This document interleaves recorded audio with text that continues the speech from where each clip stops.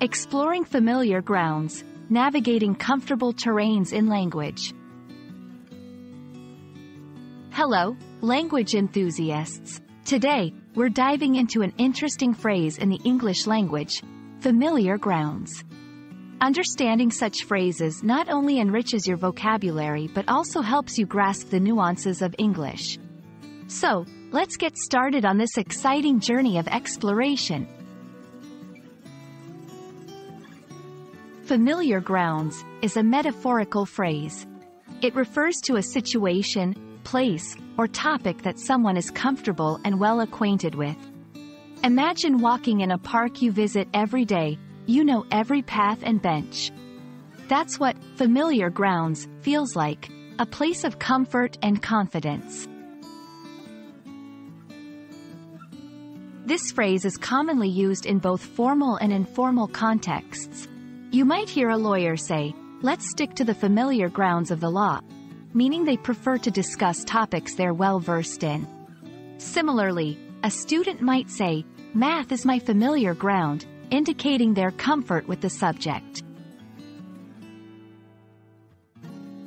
The phrase, familiar grounds, has its roots in the literal meaning of being familiar with a physical location. Over time, it evolved to encompass broader meanings. Synonyms include comfort zone, well-trodden path, and known territory. These expressions convey a similar sense of familiarity and ease.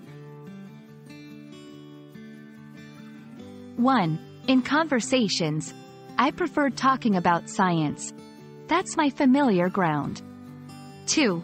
In business, our company will focus on software, as that is our familiar ground. 3. In learning, when studying a new language, start with topics that are familiar grounds for you.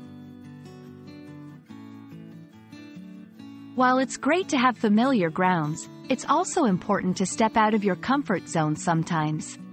Trying new things can lead to exciting discoveries and learning opportunities. So, balance your familiar grounds with new adventures.